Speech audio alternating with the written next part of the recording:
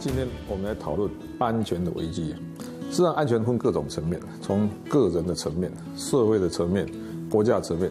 柯文哲谈谈而谈城市治理经验，这是他总统大选期间制作的 KP 国事会议系列影片。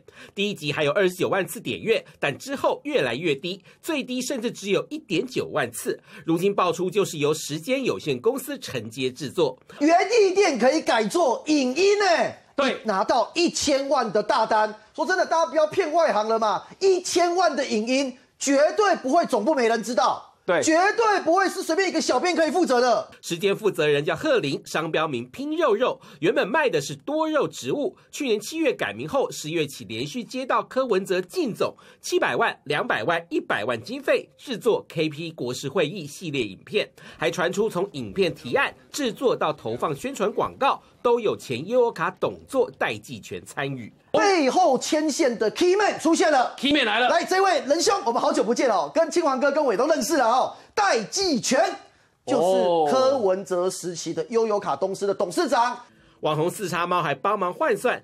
十四支影片平均每支七十一万元，只有柯文哲一个人说话，加总点阅累积一百三十四万次，平均一次点阅花七点四六元。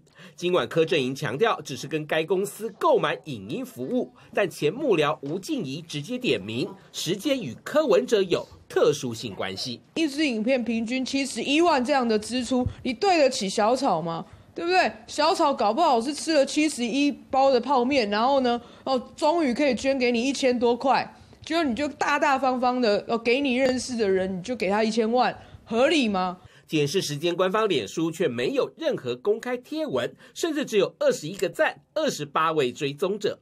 如果作为商业行销影音制作公司，民众也可评断这样合格吗？民事新闻综合报道。更多精彩新闻，请下载 App 订阅《民视新闻网》。